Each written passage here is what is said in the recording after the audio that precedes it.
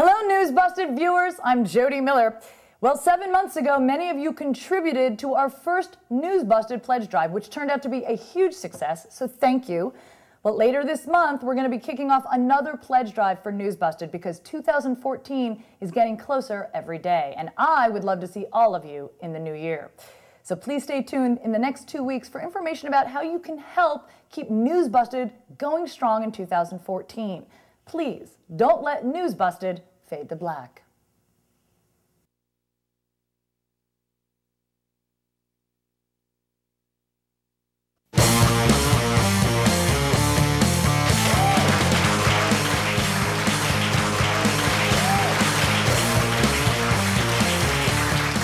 Hey everybody, welcome to News Busted. I'm Jodi Miller.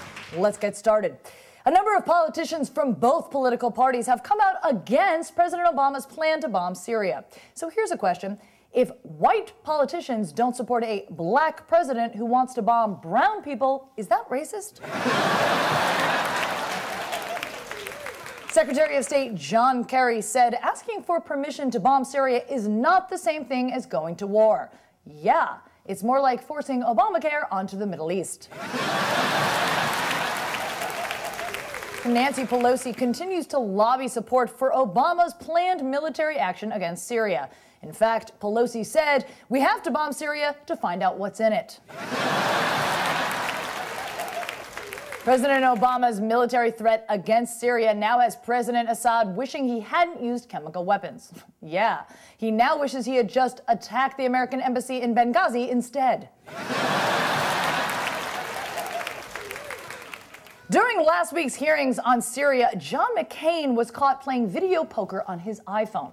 Pundits were shocked, you know, that McCain knows how to use an iPhone.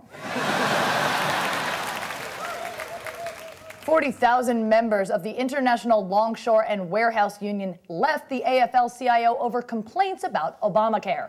And here's how the major media outlets covered the story.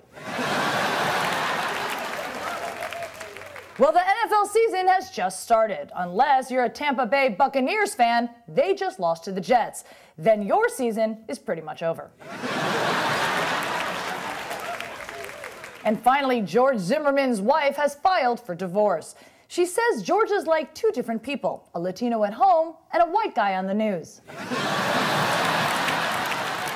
Thanks for watching News Busted, everybody. I'm Jodi Miller. Be sure to subscribe to our videos on YouTube, and we'll catch you next time.